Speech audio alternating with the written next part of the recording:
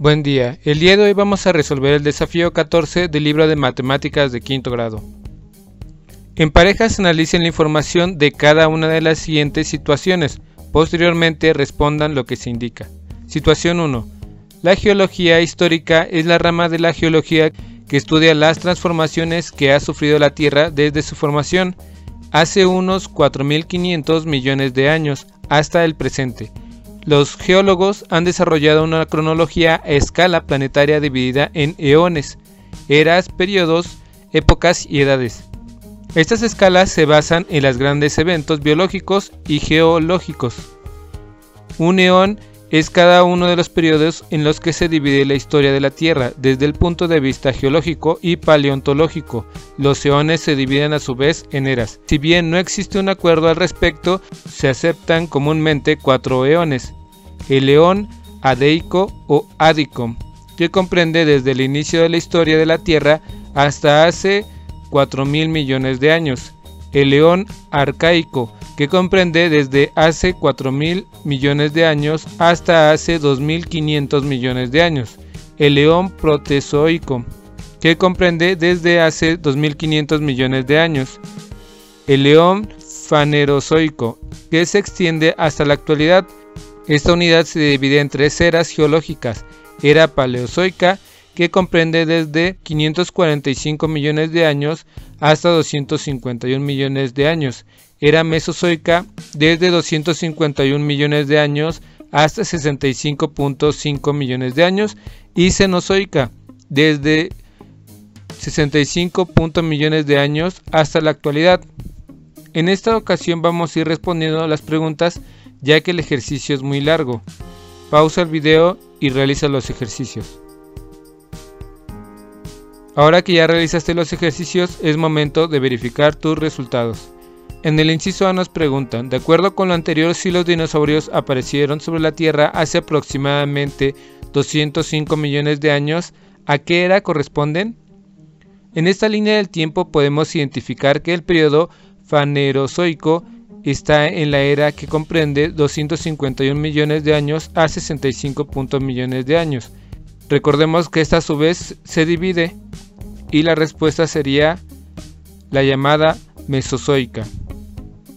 ¿Qué unidad de tiempo se utiliza en los eones y en las eras geológicas?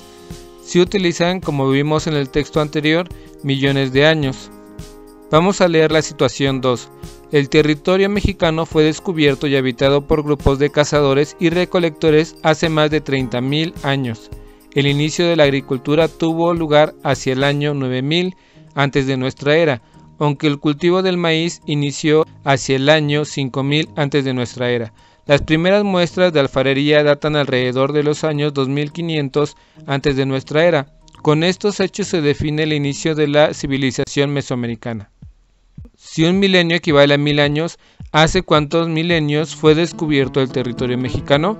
Para contestar vamos a dividir los 30.000 años entre mil, por lo tanto fue hace 30 milenios cuando fue descubierto el territorio mexicano. Vamos a la situación 3. Al finalizar el siglo XIX, México tenía 13.600.000 habitantes aproximadamente.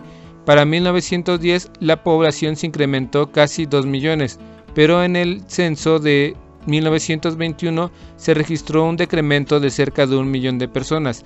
Este descenso se debió a que durante el decenio de 1910 a 1920 tuvo lugar la Revolución Mexicana.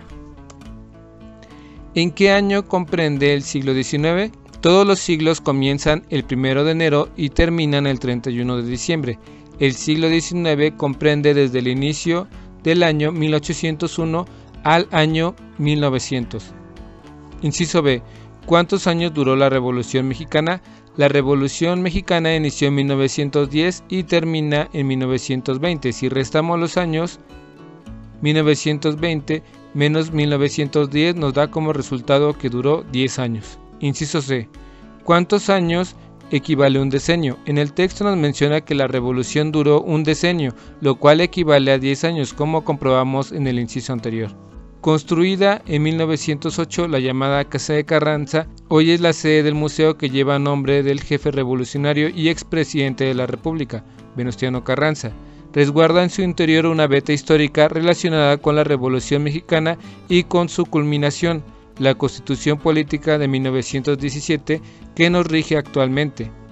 Fue en 1961, bajo el auspicio del Instituto Nacional de Antropología e Historia, cuando el entonces presidente de la República, Adolfo López Mateos, inauguró oficialmente este edificio como sede del Museo Casa de Carranza. Inciso A. Si un centenario equivale a 100 años, ¿hace cuántos centenarios fue construido el inmueble? Se construyó en 1908 y estamos en el 2020. ¿Hace cuántos años se construyó?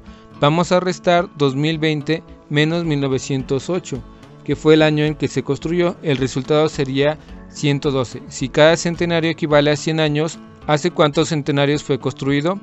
Hace un centenario. Inciso B. ¿Durante cuántas décadas ha tenido vigencia la Constitución de 1917?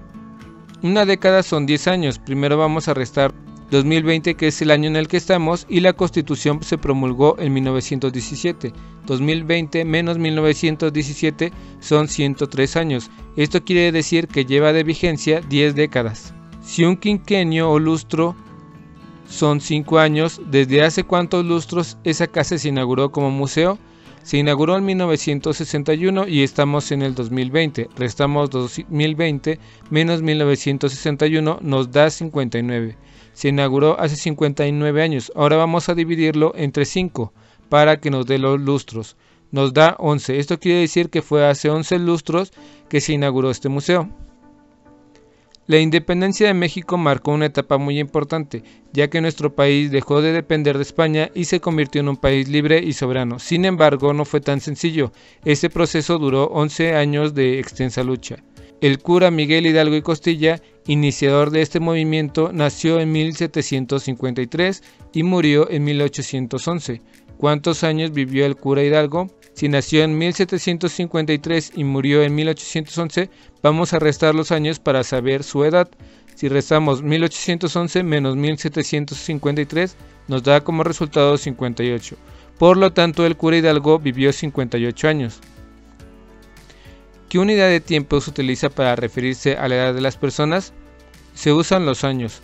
Y listo, terminamos. Espero que este video te haya ayudado un poco. Si conoces a alguien que le pueda ayudar a este video, comparte, dale like y suscríbete. Saludos.